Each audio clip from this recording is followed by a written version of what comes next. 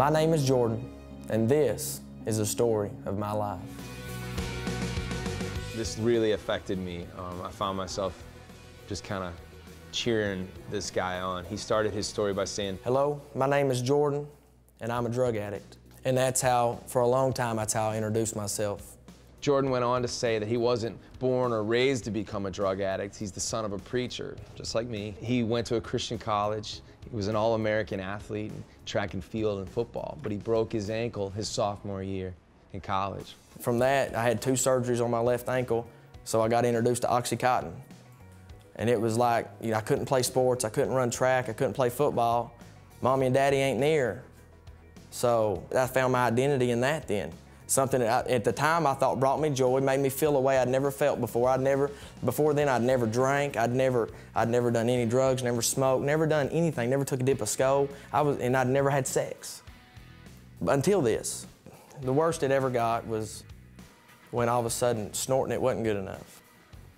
And I got introduced to a needle, having to chase the high 24-7 because Jordan didn't know who Jordan was anymore without an Oxycontin either in his nose or in his, or in his veins. The person I used to be, I don't know if I, I didn't think I'd ever, ever be able to find him again. And I was almost okay and re resigned to the fact that this is who I was going to be for the rest of my life.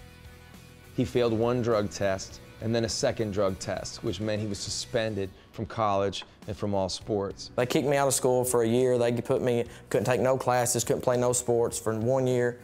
And, uh, and that night, I was afraid to call my mom and dad. I was afraid to tell them what had happened. And that night, I tried my best to overdose and kill myself, which, thank God, didn't happen. Jordan found himself at Teen Challenge, a year-long addiction recovery program. Mom and Dad get to walk me around and get to see where I'm going to be staying for the next year. And uh, comes time, it's about time for them to leave and me to stay. And uh, I remember walking around to the back of the car and I'm bawling my eyes out, scared to death. And I said, Mom, there's no way you're going to leave me here. You're not really going to do this, are you? You love me more than, more than, than this, than to leave me here at this place. She said, No, I love you too much to take you home. And and they pulled out. And the first first thing I did, I went in my room. I bawled my eyes out like I am now, and uh, I wrote them a letter. they had just left. I wrote them a letter. And for four months, that's all I got to do was write them a letter. And for four months, through those letters, we mended relationships and we became a family again. It was there that he discovered what he really needed, a personal relationship with Christ, and he began to pick up the pieces of his broken life. See, Jordan's story is a story of redemption. He wound up going back to the very college that kicked him out, getting his master's degree from there. I told Dad in, in Teen Challenge, I said, Dad, I'll never run again. I said, you know what, I just feel like sports just really led me to where I was. And he said, don't, don't sell God short on his gifts of what he's giving. He's giving you ability to run very fast. Ran track that whole semester, ran track for that indoor-outdoor season, ran as fast as I'd ever ran in my life. Now he's a teacher and a coach at the high school he graduated from. He just got engaged and he's just announced his calling to become a preacher just like his dad. And this is the way Jordan finished his story. He said, I no longer introduce myself as a drug addict, but rather, Hello, my name is Jordan, and I'm a child of the one true King. Hello, my name is Regret. I'm pretty sure we have met every single day of your life. I'm the whisper inside that won't let you forget. Hello, my name is Defeat. I know you recognize. Just when you think you can win, I'll drag you right back down again until you've lost all belief. Well, these are the voices. Yeah, these are the lies. and I have believed it for the very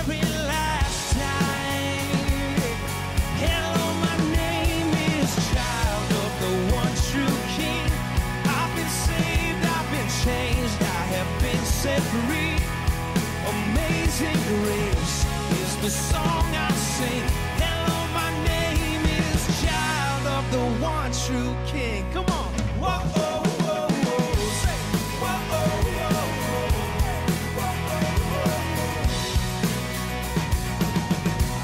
no longer defined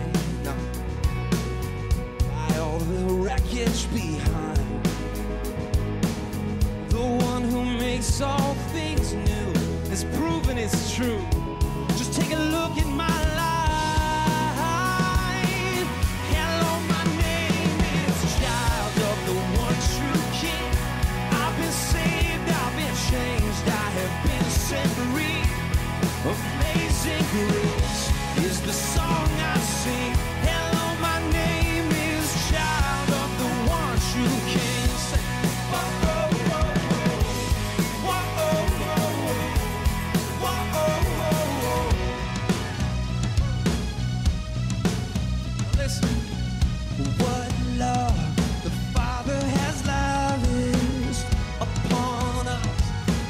That's unbelievable to me to think that that God could use a sorry little drug addict like I was, and because of God forcing me to be still and saying, Jordan, if you'll take care of what you can take care of, somehow I got the rest under control. I can take care of it. Hello,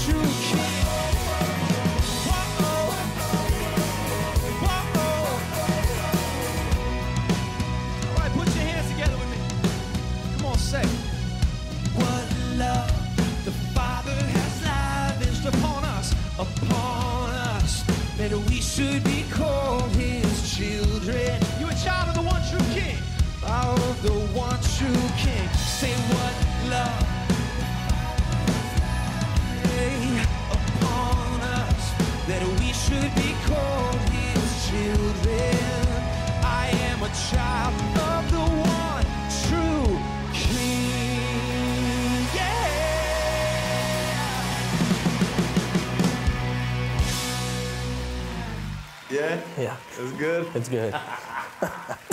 Thanks for letting me play it for you, man. That's good. Thanks for letting me write it. What a powerful story Jordan has to tell. It makes me think, you know, just like Jordan, we all have a name tag attached to our story. Hello, my name is, and then you and me get to spend our whole lives trying to fill in that blank. You know, so many times I've allowed my past mistakes, the shame, and regrets from poor choices to falsely define who I am and fill in the blank with names that I wish I didn't have. And that's when the devil will go to work, trying to drill it in our head, trying to make us believe that who we once were, that's who we're always going to be.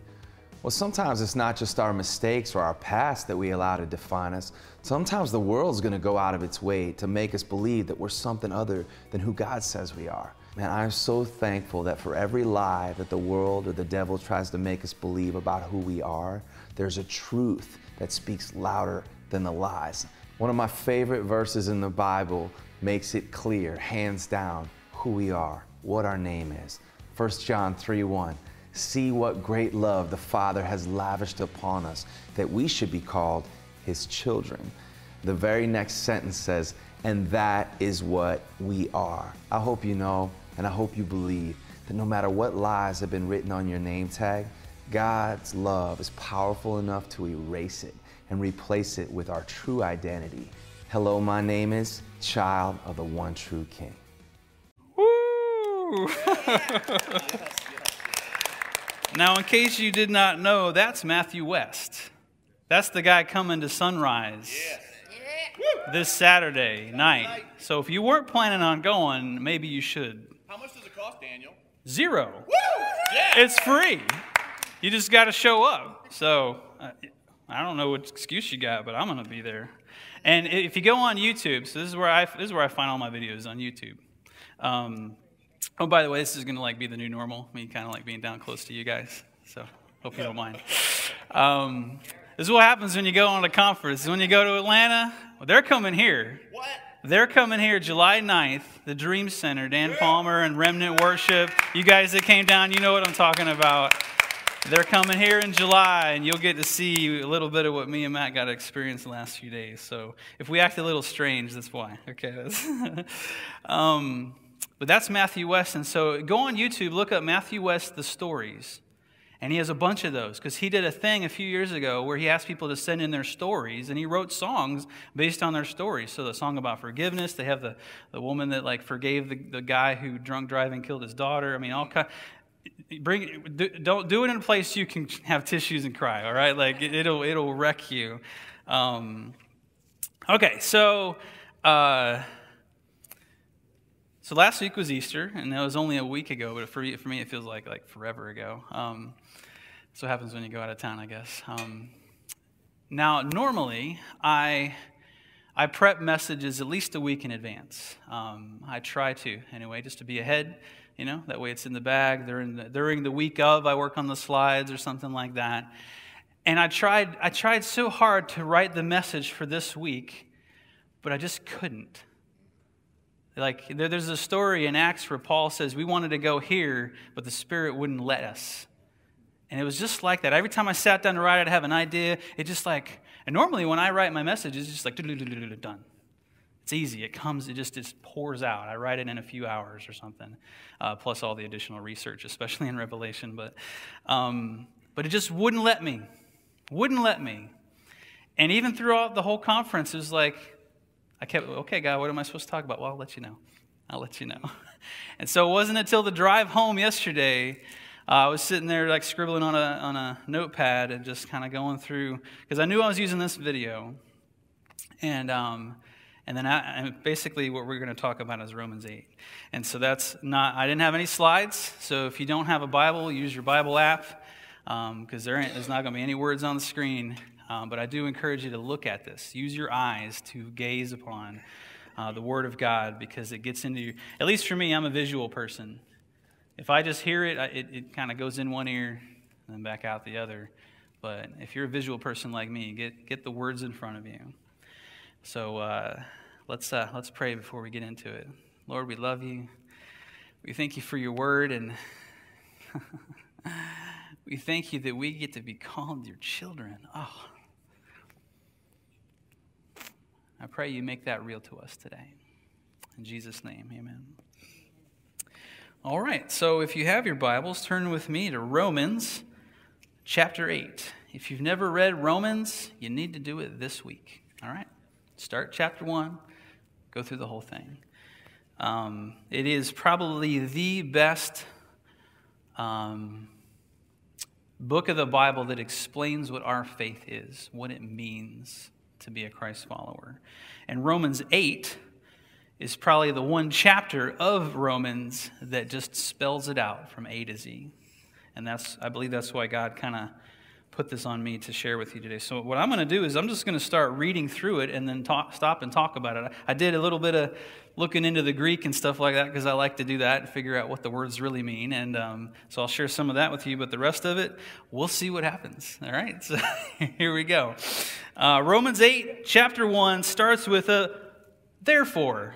Oh, oh, what do we got to do when there's a therefore?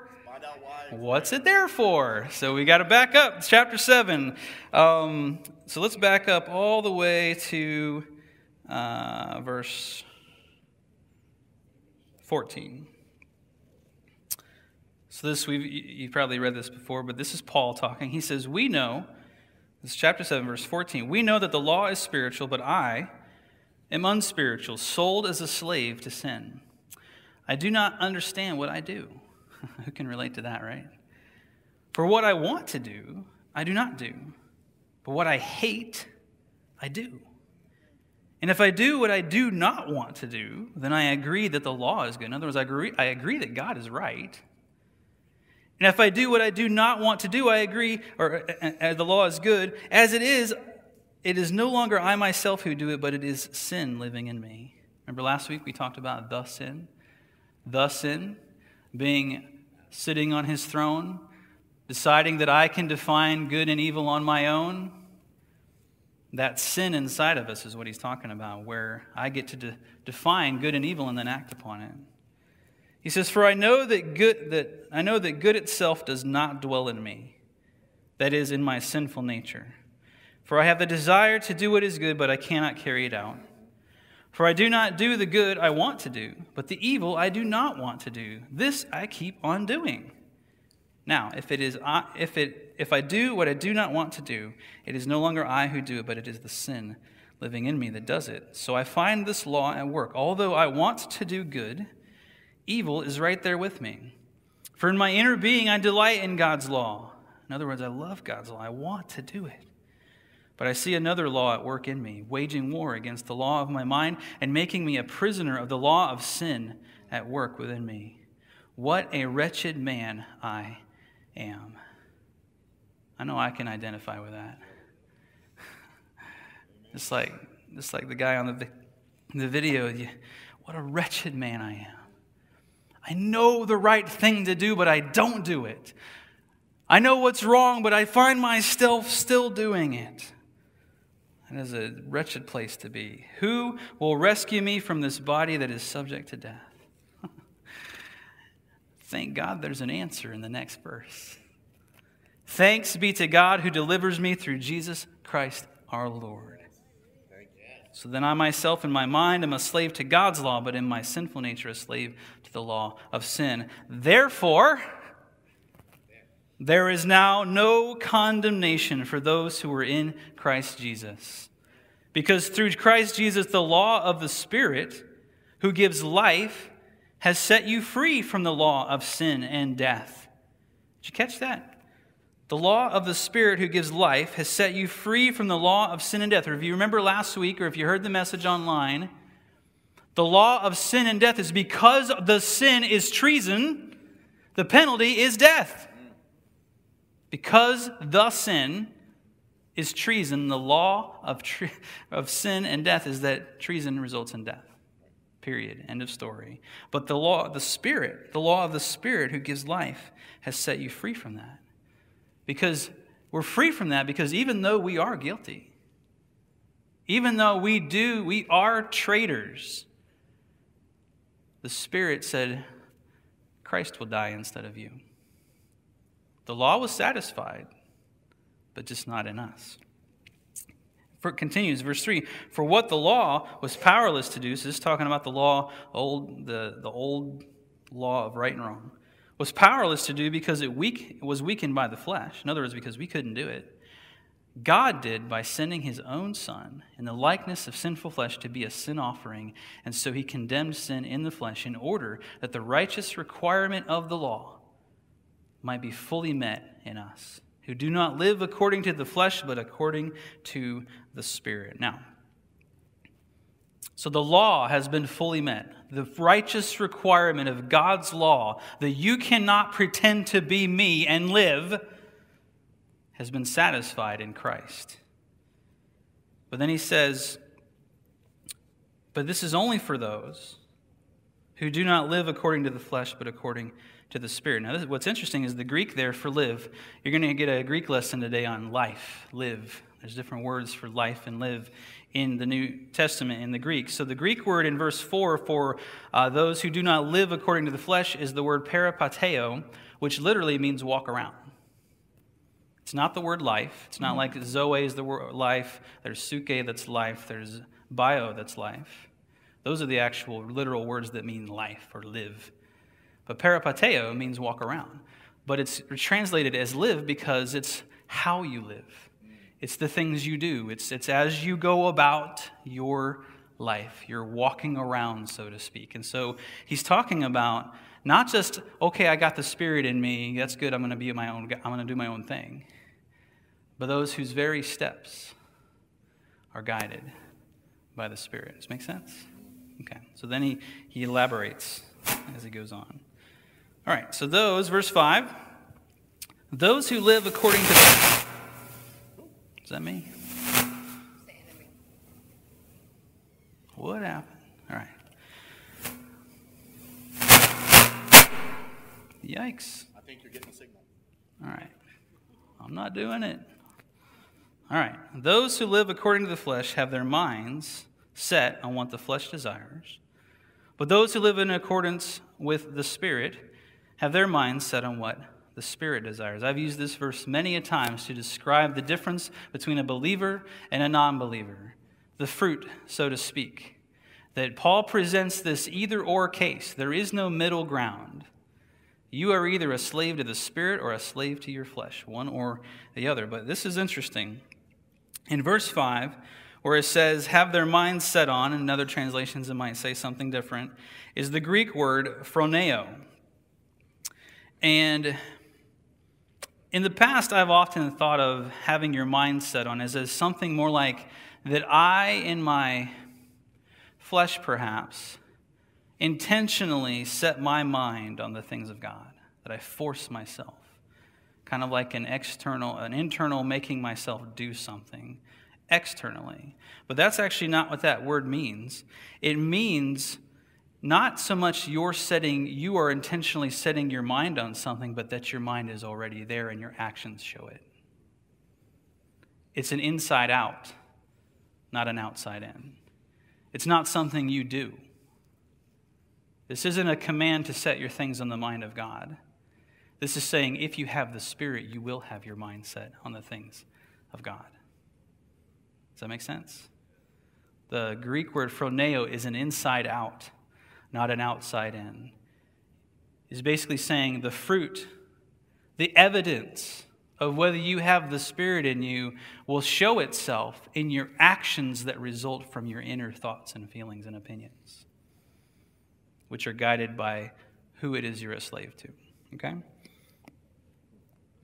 Another thing about this verse, verse 5, is it says, Those who live according to the flesh, the Greek there is not one of the words for live, it's the word for exist. It's not walk around. In other words, again, it's not something you're doing, it's something you are. It's something you are. Those who exist according to the Spirit, it will show from their inner being to their outward actions that they are of the Spirit.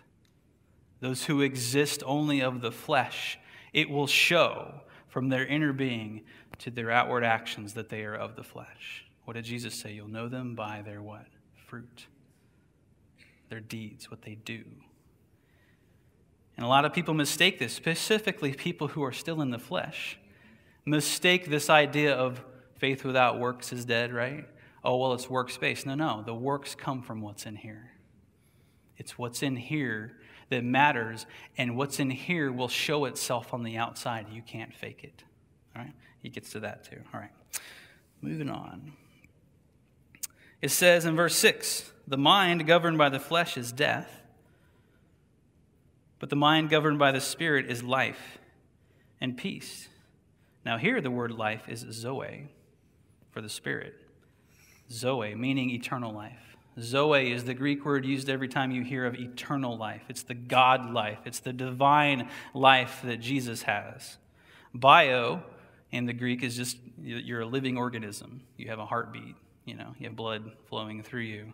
Suke is kind of your your thought life. It's where we get the word psychology, psych, right? Suke is the Greek word. It's kind of your your mind, your your life so you can have a suke in the flesh. You can have a bio in the flesh, but you can't have zoe unless you have the spirit. In fact, from this verse, this is fascinating. So a little follow me on this. The Greek word for spirit is pneuma, pneuma, which literally means wind, breath, kind of a wind kind of thing.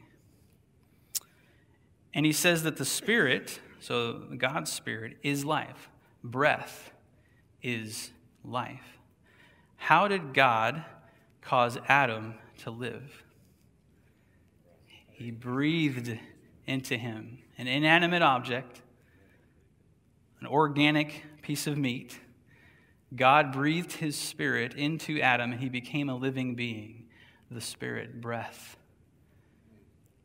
And then when Jesus was about to leave, after his resurrection and he's about to leave, what did he do to his disciples to give them the Holy Spirit? He breathed on them and said, Receive the Holy Spirit. The Spirit is life. But, but wait till you'll see in a minute that there's, there's two kinds of life, right? So just keep that in mind that the Spirit, the pneuma, the Holy Spirit, breath is life. But specifically, the Spirit of God is eternal life, Zoe life. Okay. Where was I? Seven. Okay, thanks. The mind, governed by the flesh, is hostile to God. It does not submit to God's law, nor can it do so. Those who are in the realm of the flesh cannot please God. So, again, this one or the other. If you really pay attention to that, why is it that those who don't have the Spirit in them can't please God? Because they're dead. There's two kinds of life. There's our, there's our flesh life. We live, we die, we rot. And there's the spirit life. This is why in Genesis, when they were cursed, he says, You will die, die. Two dies. You will have a physical death, but first your spirit has died. It doesn't specifically say it in Genesis, but I believe in that moment they, they, they gave up the Spirit. They gave up the Holy Spirit, and they kept the human spirit. Now, I can't prove that. Maybe I'll research it at some point. But And so he's saying in these verses that there's only two ways you can exist. Not just, it's not something you do, it's not something you're trying, it's not something you're working on. It's something you are. And you either are, by default, simply human, with a human body, with a heartbeat, and a soul, or you can be that with the Spirit of God inside of you, the breath of God inside of you. And it's something you are based on your relationship with Christ. And which one you are will be evident in what you do. If you live the life of the Spirit, you will please God. You will obey Him because you have the Holy Spirit in you. And what does the Holy Spirit do? It obeys God because it is God. The Holy Spirit cannot disobey God. But if you don't have the Holy Spirit, the Zoe life, the breath of God in you, you cannot please God and all the good things you can do. You could go to church every Sunday. You could give to the needy. You could go sell everything and, you know, do all that kind of stuff. You can cast out demons in his name. What does Jesus say? But he'll say, I didn't know you. Because if you don't have the Spirit, no matter what you do, you can't please God. Because he's not interested in the things we do. There's a big difference between good and right. God doesn't want us to do good things, He wants us to obey Him. If you have a child and you tell, say, I tell my son to clean his bedroom, and he cleans the bathroom instead, did he do a good thing? Yes. Yeah, he did. But did he obey me? No, he didn't. God's not interested in the good things that we think of to do. He's interested in me following the Spirit, letting the Spirit live through me. This is what Jesus did. When we think of Jesus as being perfect, right? Right? Jesus was perfect. He was sinless. Why was he sinless? Because he did all the right things, didn't do any of the wrong things. Well, no, there's not. You, in your whole life, you can't do all of the good things. There's billions of good things you can do, right? You're only one person. So Jesus didn't do all the good things. And he even broke some of the laws that the Pharisees had set up. He was disobeying authority. Isn't that a sin? No, because he was following the Spirit. He lived a life of complete and total surrender to the Spirit of God. He says in his word that I don't even say anything except what God tells me to say, what my Father tells me to say. I don't do a thing except what my Father tells me to do. That's a sinless life, which of course none of us can do in our flesh. And we all start in our flesh, right? Hence why we cannot be perfect. That doesn't necessarily mean that we can never live fully surrendered to the Spirit. All right, so where was I? Verse 9? It says, You. So remember, the Bible is written to believers. The Bible is written to believers. So whenever he says you, you guys, he's talking to people who believe, okay? You, however, are not in the realm of the flesh, but are in the realm of the Spirit, if indeed the Spirit of God lives in you. And if anyone does not have the Spirit of Christ, they do not belong to Christ. So again, the same thing I just said, right? Again, he's saying, he kind of repeats himself over and over to, to make the point that if you don't have the Spirit, you are not in Christ. Period. But if Christ is in you, then even though your body is subject to death because of sin, the Spirit gives life because of righteousness. Again, Zoe, eternal life. And if the Spirit of Him, this is awesome, if the Spirit of Him who raised Jesus from the dead is living in you, he who raised Christ from the dead will also give life to your mortal bodies because of His Spirit who lives in you. So catch this. See if I can get this right. remember, the Spirit is what? Pneuma. It's breath, it's life, eternal life. If, so we have our fleshly mortal body, our jars of clay, as Paul calls them, right? In my fleshly mortal body, it is going to die. And if my soul is just my soul, just my spirit in here, that's going to die too. It's going to spend eternity away from God. That's going to happen. And no matter what happens, my body is going to die. It decays because it's mortal, all that kind of stuff. Unless, of course, Jesus comes back and changes us, right? But if I have the Spirit in me, the Holy Spirit, that is the breath of God, that is eternal life, then I'm already alive. Over here, I'm already dead. I'm already dead, spiritually speaking, and eventually physically speaking. But if I have Christ's Spirit, the Holy Spirit, the breath of God, the Zoe life that He breathed into Adam initially, I already have eternal life. You don't have to wait until you're dead and in the kingdom and in heaven to start eternal life. Eternal life is now. You already have eternal life inside of you. That's what he's saying. That if the Spirit, the breath of God, the Zoe life that raised Jesus from the dead is in you, you get the same treatment. That's why we say death cannot hold us. All right. Hope you're following me on this. Verse 12 Therefore, brothers and sisters, we have an obligation, but it is not to the flesh to live according to it. Now, in the New, New Living Translation, I like how it says, You are not obligated to do what your sinful nature urges you to do, which is awesome. Awesome. You have a choice. Later, it says that you know, no one's ever tempted beyond what they can bear. Not, it, does, it never says God's never going to give you more than you can handle. In fact, He's going to do it a lot so that you will be like, God, I can't do it. That's what humility is, right?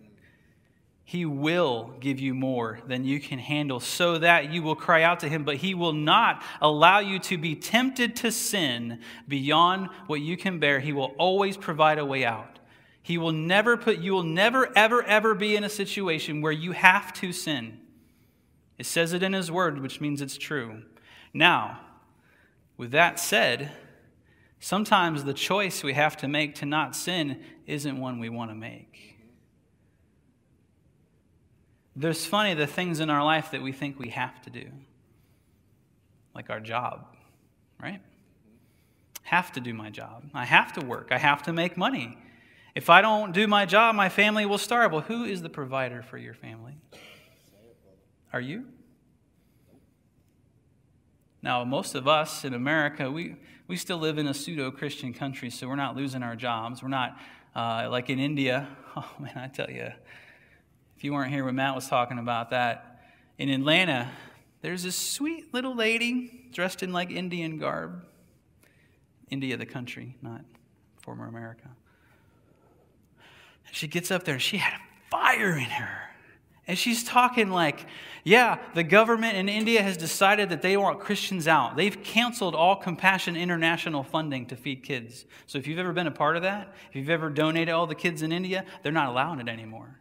Millions of kids are probably going to starve because of this. But they're like, we are going to be a Hindu country, a Hindu country only. We want the Christians out, the Muslims out, the Buddhists out, everyone out. In three years, if you're not gone, you're dead. Either convert or move out or you're going to die. She stood up there and said, I'm going to preach the gospel. Until they take my final breath, I will preach the gospel to these people because that is what I'm called to do. And I serve a God who's bigger than any government. And I tell you, my tears were flowing. I said, Take my money, take it all. it's true. Because that's inspiring, right? Yes. Oh. And even the, the, the, main guy heading it up, he's like bawling. He didn't see that coming. He's like, Well, I wasn't going to do this. We're taking up an offering right now. Yeah. And I don't want you just to give quarters, I want you to commit to a monthly amount. That kind of dedication. And we worry about budgets, and we worry about trash in an auditorium. And that stuff's real. This is important. You know, just because that's happening there doesn't mean our problems aren't real, but just it helps put things in a little bit of perspective, right? I don't know where, where I went anyway. Woo! Um, oh, yeah, we have an obligation. We do not have an obligation to serve our sinful nature. We have a choice. We have a choice.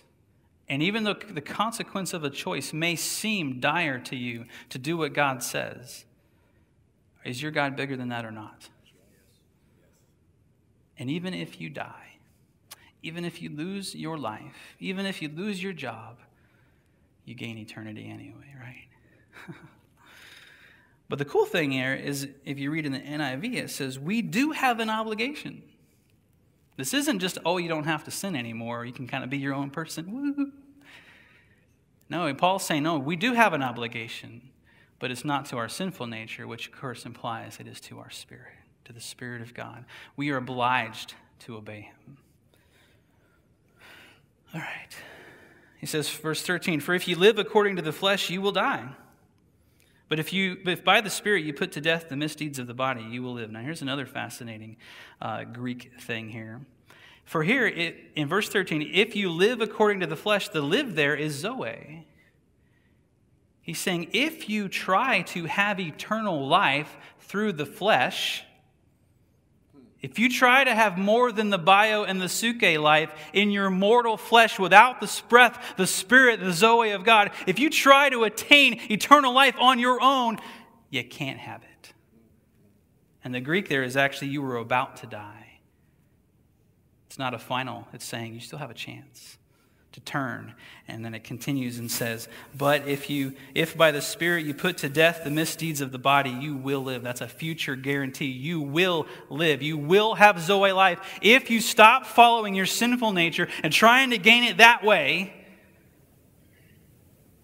you will follow the Spirit and actually have Zoe life, the Spirit, the breath of God. Ooh.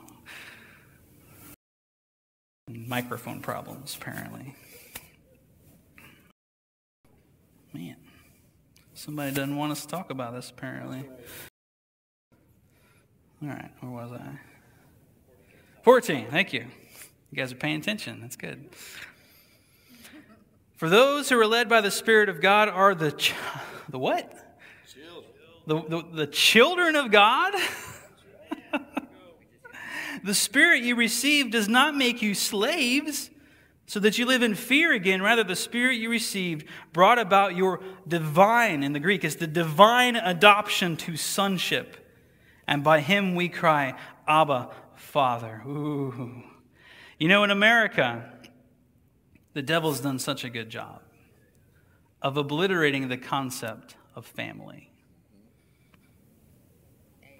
In America, to say, well, I'm the son of so and so, people will say so.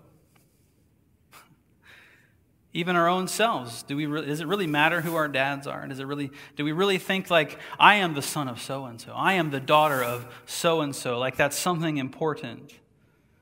No, we don't. In fact, most of us come from broken homes. So many people don't even know who their father is or know who their mother is. Or the devil's done a good job of making this concept of being a child of God mean, eh, eh, that's nice.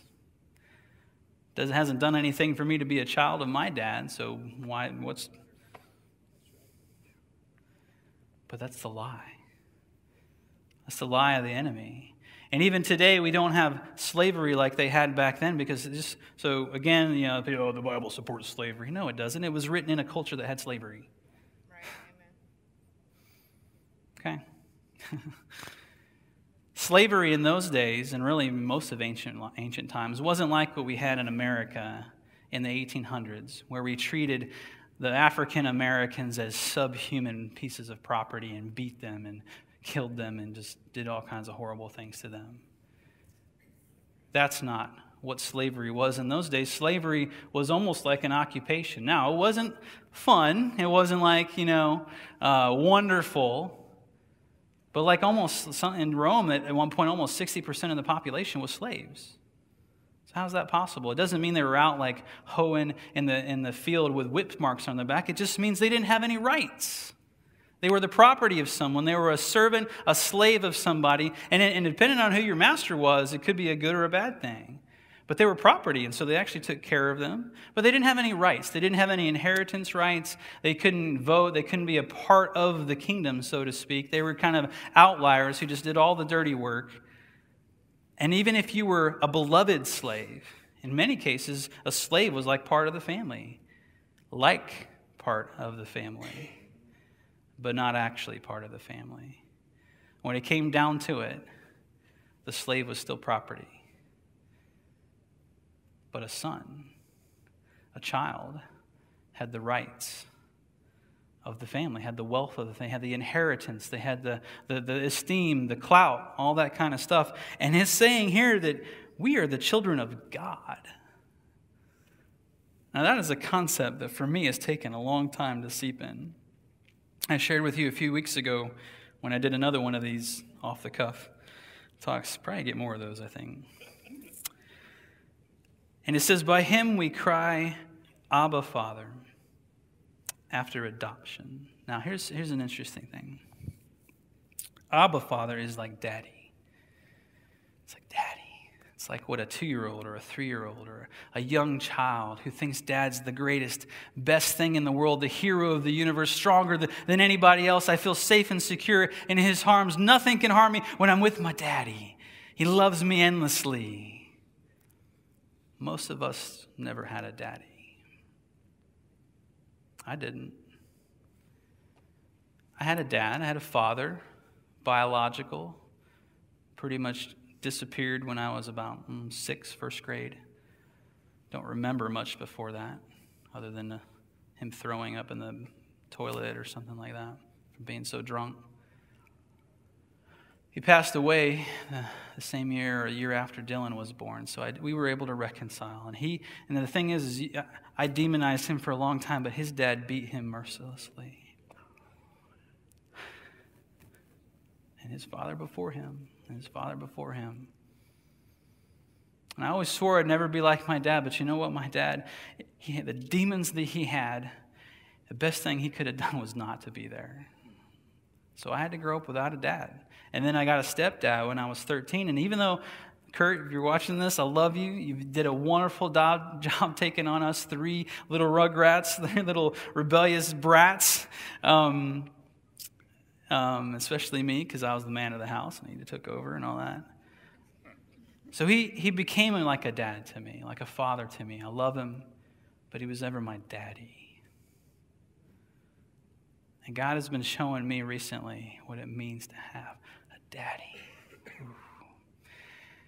And um, that's what He's given us.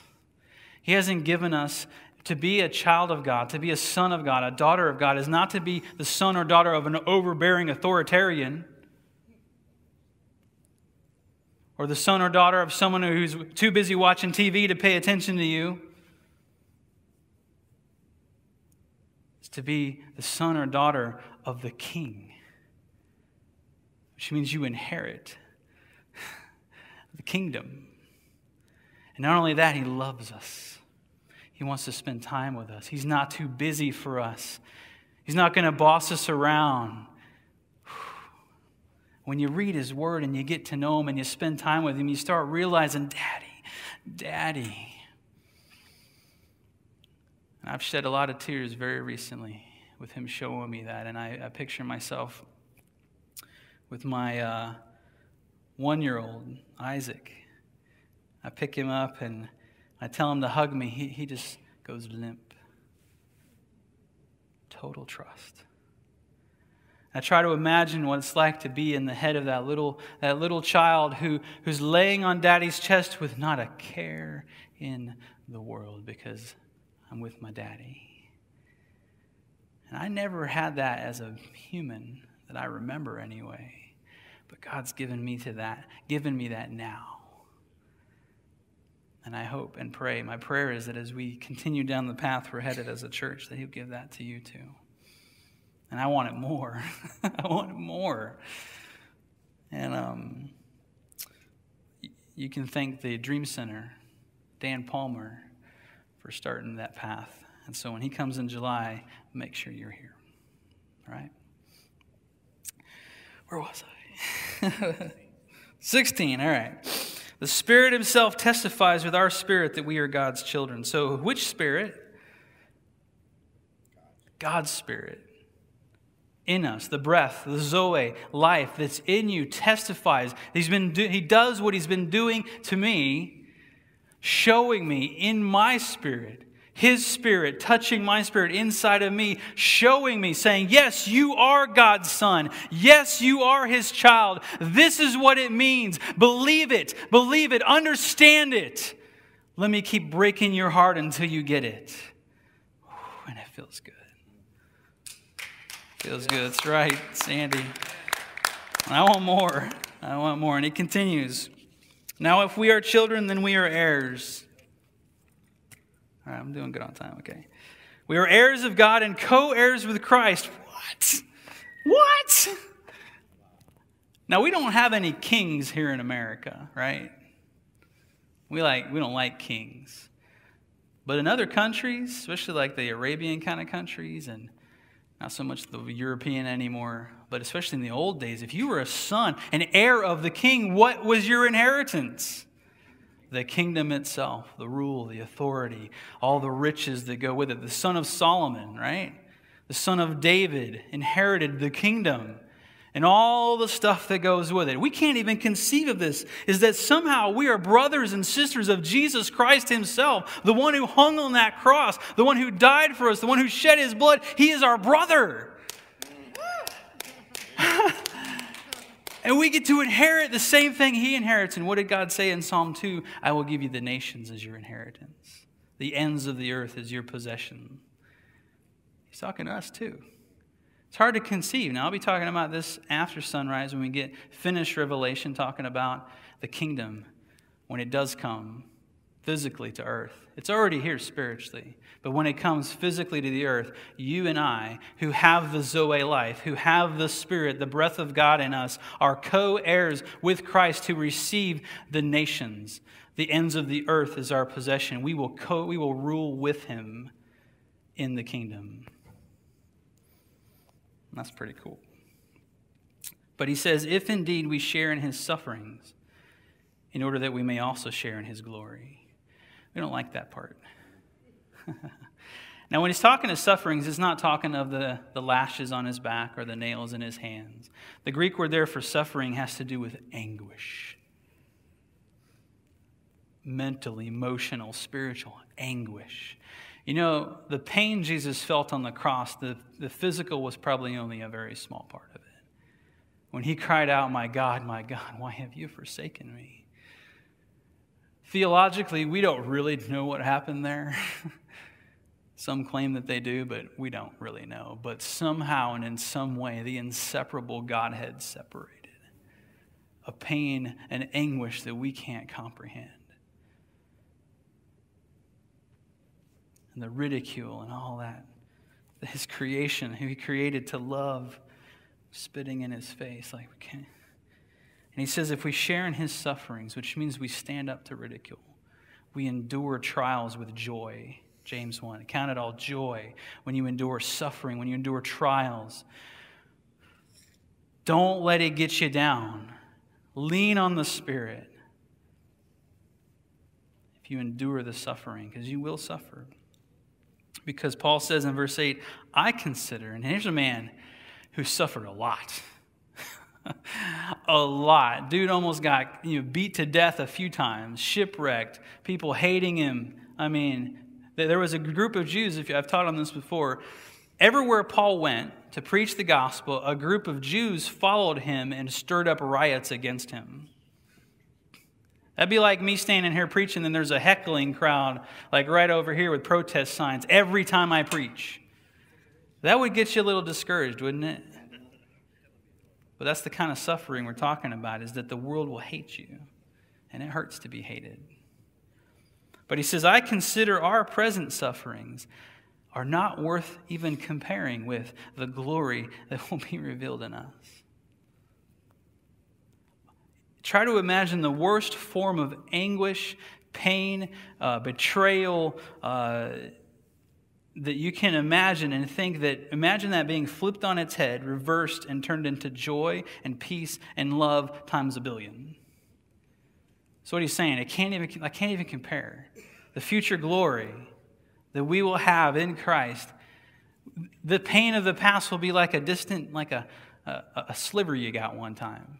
Do you remember every sliver you've ever gotten? Probably not. Well, Troy might, actually. so he says, I consider our present sufferings are not worth comparing with the glory that will be revealed in us. For the creation, awaits an eager expectation for the children of God to be revealed. That's a fascinating statement. It says, For the creation was subjected to frustration, not by its own choice, but by the will of the one who subjected it, in hope that the creation itself will be liberated from its bondage to decay and brought into the freedom and glory of the children of God. And that's a, one of these, if you read commentaries, everyone's like, I don't know what that means, right?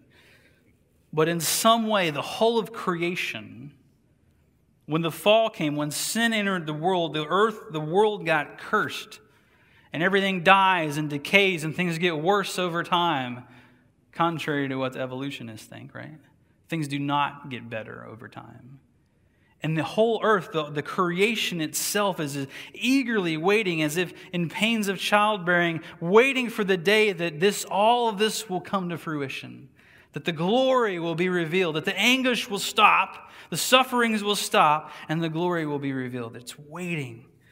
It's awesome. So it continues. We know that the whole creation has been groaning as in the pains of childbirth right up to the present time. Not only so, but we ourselves, so we are groaning, who have the first fruits of the Spirit. So he's specifically speaking to him and his fellow people because they're the first who have the Spirit. We groan inwardly as we wait eagerly for our adoption to sonship, the redemption of our bodies. For in this hope we were saved. But hope that is seen is no hope at all.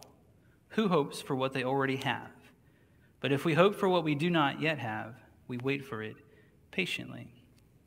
So again, this is the faith that we have is not one that we can see. We believe in a future kingdom, in an invisible kingdom, in, a, in this concept of that we're somehow sons and daughters of the living God and that He's really there, even though we can't see and touch and feel Him which is why it's a hope. It's a hope that we hold on to.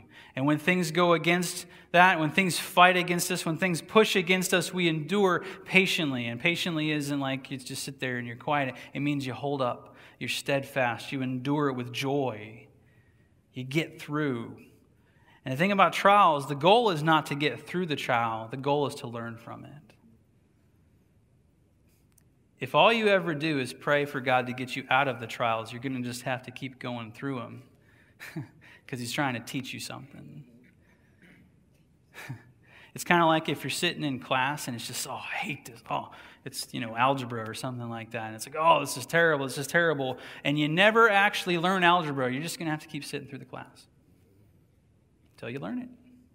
So you might as well just buck up, get over yourself, and learn it.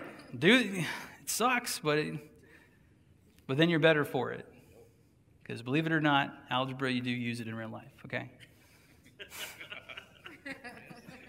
All right, where was I? Um, verse 26. In the same way, the Spirit helps us in our weakness. We do not know what we ought to pray for, but the Spirit Himself intercedes for us through wordless groans. Hmm. And He who searches our hearts knows the mind of the Spirit because the Spirit intercedes for God's people in accordance with the will of God. Now, this is fascinating. We know that the Holy Spirit, God the Father, Son, and Holy Spirit, are somehow one, right? But they're somehow separate, like it's the whole Trinity thing that we don't really understand. We pretend to, but we don't really understand. Somehow they're three, somehow they're one, and they communicate with each other in ways that we can't understand. And so he's saying the Spirit, the breath of God, which when you speak, where do words come through? Your breath, right? The Word of God. And somehow the breath of God, the Spirit of God inside of you talks to God the Father and God the Son in ways you don't understand. And scripturally, sometimes that comes out in words we call speaking in tongues, which most of us here probably don't do, but it's okay if you do. I've recently started doing it. That might blow your minds. I'll talk to you about it later. but that's kind of what that means is that God the Spirit, his breath in you speaks to God the Father, God the Son. It speaks to the Trinity in ways we as human beings can't comprehend. Sometimes it doesn't make a sound out of your mouth, but sometimes it does, okay? And what's fascinating is that the spirit you're walking around with inside of you is praying for you. Isn't that something? You know, you know your mom prays for you. And you know, maybe your wife or your husband, maybe your pastor, you know, stuff like, stuff like that. but the Holy Spirit Himself is in you praying for you. Isn't that something? Wow. I don't even know what to make of that. Um, where are we at? 28? 28. All right. It's a long chapter, isn't it? but really, in the Greek, what's kind of cool is that uh, Paul, in this chapter, he just keeps saying uh, the word for. Like, and so this, and not only that, but this, and then not only that, but this, and not only that, but this. He's like a constantly, and there's, wait, there's more. Wait, there's more. It's like this is in the Greek, that's what this looks like. That's why you hear a lot of in the same ways. We know that. Anyway, verse 28 And we know that in all things God works for the good of those who love him, who have been called according to his purpose. For those God foreknew, he also predestined to be conformed to the image of his Son, that he might be the firstborn among many brothers and sisters. And those he predestined, he also called. Those he called, he also justified. Those he justified, he also glorified. So we really like that verse. We know all things work for the good of those who love him, who have been called according to his purpose. So it's the good of those who what? Love him. Right? If you don't love him, you really think he's working for your good? Not necessarily. But the good he's talking about is to be like his son. He says, For those God foreknew, he also predestined to be conformed to the image of his son. I'm not going to talk about predestination right now. If you'd like to have a conversation about that, we can, but it's clearly right there. But somehow, somehow it's true. Somehow we, we are called before the creation of the earth, and we have free will. Somehow both are true. How that works, I don't know. I'm not God. All right? All right. Verse 31, here's where it gets fun, right? Fun, fun, fun. What then shall we say in response to these things? And all this, we're, we're, we're, children of God. We're, we're not condemned anymore. We have the, the breath of God, the Zoe inside of us. Oh, we have, we're, we're, we're, heirs with Christ. We're going to inherit the kingdom. Uh, he says, What can we say in response to all these things? If God is for us, who can be against us? Woo! He who did not, he who did not spare his own son, but gave him up for us all, how will he not also, along with him, graciously give us all things? Ooh, how many of us have given up a son for somebody? Show of hands? Nobody? Yeah, me either.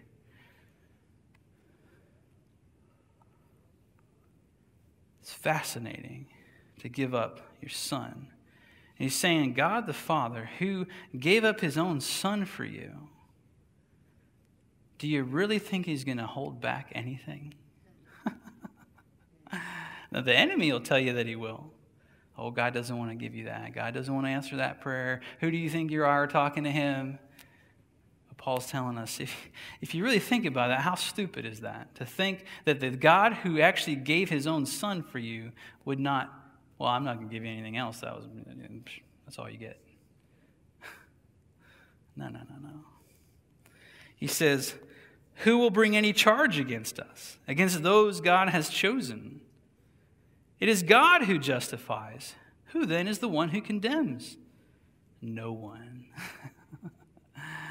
no one worth listening to, right? You know, we, in one of the talks we had in Atlanta, we talked about the Garden of Eden when, uh, you know, they ate the fruit. And then after they're, walking in the garden, they hide themselves because they're naked and stuff. And God's walking and uh, and Adam, you know, find where were you? Oh, oh, we, we realized we were naked and we hid. And he said, Who told you that? Who told you that? I didn't.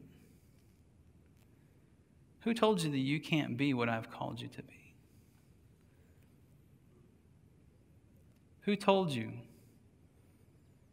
that you can't stand up? Who told you that you can't ask me for that? Who you been listening to? Because it ain't me. How's a powerful talk? And he's saying right here, he's saying the same thing. If God does not condemn you, who are you listening to that makes you feel condemned? Because it ain't God. Hmm. The voices in our heads. He says, Christ Jesus, who died, no, no, no, more than that, who was raised to life, is at the right hand of God and is also interceding for us. Not only is the Holy Spirit praying for you, Jesus himself is praying for you.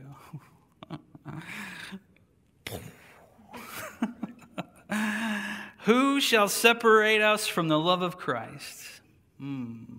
Shall trouble or hardship or persecution or famine or nakedness or danger or sword? You know, Paul experienced all of those. So he's not just speaking all a bunch of words I can think of. He's been through it. And he said, God, that's, the love is not gone. None of that separated me from the love of Christ. As it is written, for your sake we face death all day long. We are considered as sheep to be slaughtered. That's a reference back to Psalm 44, speaking of this idea that we, as the followers of Christ in a world that is arrayed against him, that hates him with a passion, they just want to kill us off. They consider us worthless, haters of the, the mainstream, anti science, anti gay, anti abortion, anti, anti, anti. No, no, we're for life. Get rid of them, get rid of them. He's saying that's what the world is going to do. We consider the sheep the slaughter, face death every day. But that doesn't separate us from your love. He says, No, in all these things, we are more than conquerors through him who loved us. For I am convinced that neither death nor life, neither, actually, read this with me, will you? I am convinced that neither death nor life, neither angels nor demons, neither the present nor the future, nor any powers, neither height nor depth nor anything else in all creation will be able to separate us from the love of God that is in Christ Jesus our Lord. Woo! Blessed assurance, my Jesus is mine, right? Mm. Not a thing, not angels or demons, death or life, present or the future, any powers, neither height nor depth nor anything else in all creation can separate you from the love of God. But you know what can hide it from you?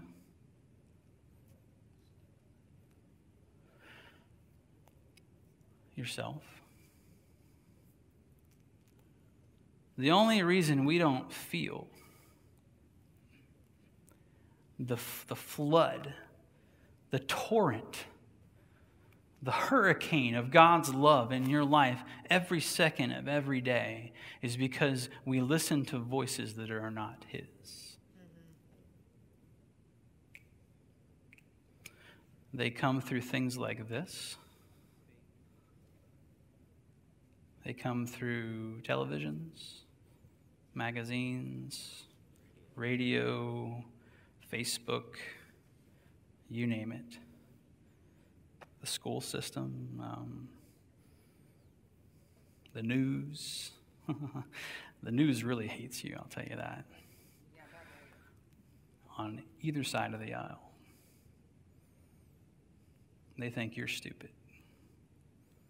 And so they feed you a bunch of junk, and we react and get all upset about stuff that does not matter. All the while, we have a father who's saying, Look, I'm right here. I'll take care of it.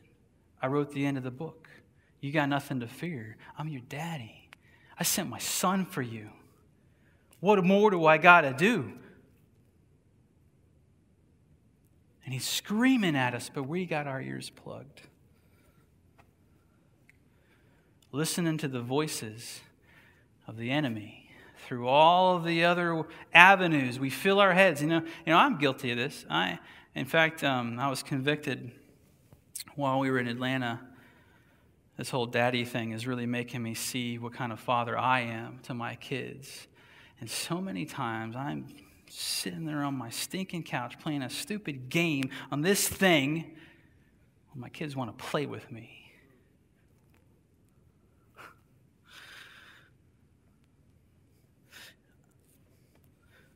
And we all do the same thing. God wants to play with you. Except that the role's reversed. God's not on his iPhone, we are, right? He's saying, Come on, let's play. Come on, let's do some stuff. Come on, spend some time with me. Come on, I want to pick you I want to pick you up. You know, my kids want me to pick them up, and sometimes I don't want to. But God's like, come on, I want to pick you up. I want to pick you up. Come on, come with me. Spend time with me. Do life with me. I got, a, I got plans for you that, that you're not letting me do. Get off your phone, get off your computer, turn the TV off. Stop listening to all the voices who are telling you you don't worth anything. Stop listening to all the voices that say you can't. Listen to me. So I can show you that I love you. So I can flood you with it in a way you've never experienced. And I'll tell you, the guys in Atlanta, like the Dan Palmer, dude walks around like he's just in the middle of a shower with, with God's love, and it's almost like he can walk around with his eyes closed. He just because he, you know why? Because he spends all he spends hours a day with the Father, and he doesn't watch TV.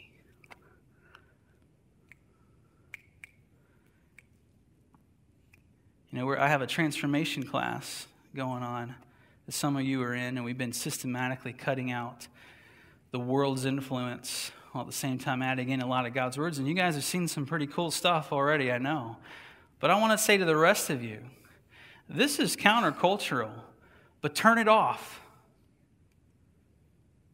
You got a megaphone in your ear of the enemy telling you worthless lies, lying to you about who you are, lying to you about who God is, lying to you about everything. And you got a little whisper over here telling you, I love you and you can't hear it. Turn it off. Turn it off. In Romans 12, that's what he says. Do not be conformed to the pattern of this world, but be transformed by the renewing of your mind. How do you renew your mind? Well, you got to turn some stuff off. You'll be blown away at the difference it makes. And so, I guess the point I'm trying to make today, or what God's trying to make today, is stop listening to the voices that aren't His. and start listening to His voice as often and as loud as you can. Because He has the breath of life, the breath of eternal life. And it is in you. It's in you, but it's clouded, it's, it's, it's warped, it's, it's, it's hidden by the cloud, the fog, the, the smog of this world. And the enemy wants to keep you trapped in that. The enemy wants to keep you subdued, believing all those lies. And you may not realize that you are, it's very subtle, but you are. He wants you to stay where you're at, and God wants to explode the world through you. He wants to make your life like you've never imagined with his breath. I don't know about you, but I think that's awesome. So let's pray. Lord, we love you. I thank you. Mm, I thank you, Lord. Romans 8, it's, almost too much to take in. It's such a long chapter, we forget the beginning by the time we get to the end, where you began with, There's no more condemnation. We're not guilty anymore in your eyes. When you look at us, the devil tries to point out our sin, and every time we messed up, and every time we failed, but you say, No, no, no, no. I'm looking at my son who's perfect, who died for you. He paid for that. You are not condemned anymore. Whoa, God. But I don't deserve that. I know you don't. but I love you, Mm, God. And not only that, but you don't, you don't just acquit us, you adopt us into your family. And you have the big house up on the hill and all the toys. and you say, Come on, be with me. And I thank you, God, that you've been showing me recently what it means to have a daddy what it means to be a daddy. And I pray you don't stop. I don't care if I cry in front of the church or anyone else. And Lord, I pray that you do the same for everyone in this room or anyone listening. That you will make your spirit alive in them, that they will feel it burning in them that the lies of the enemy will suddenly become obvious to them and they can't stand to listen to it anymore. I pray you give us that courage. Like Auntie Grace in India, to live for you no matter what.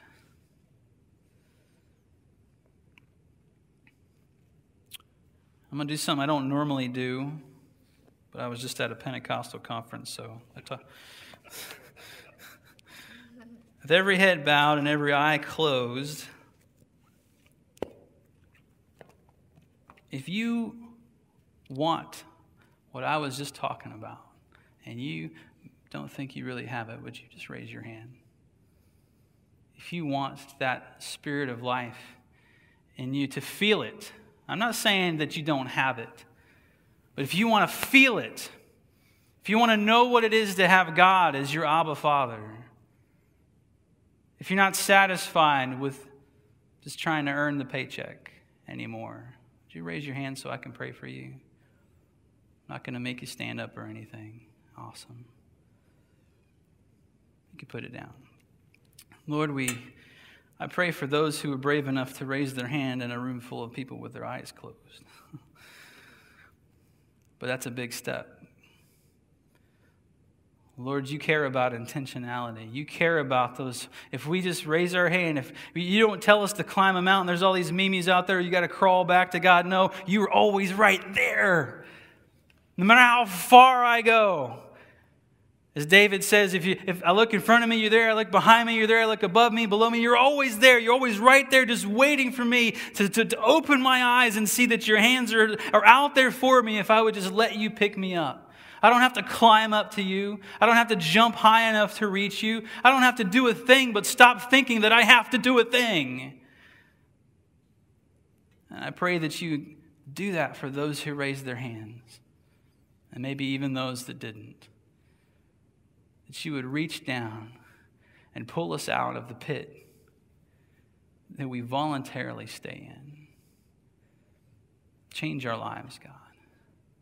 Show us who you are. And I thank you in Jesus' holy and precious name. Amen.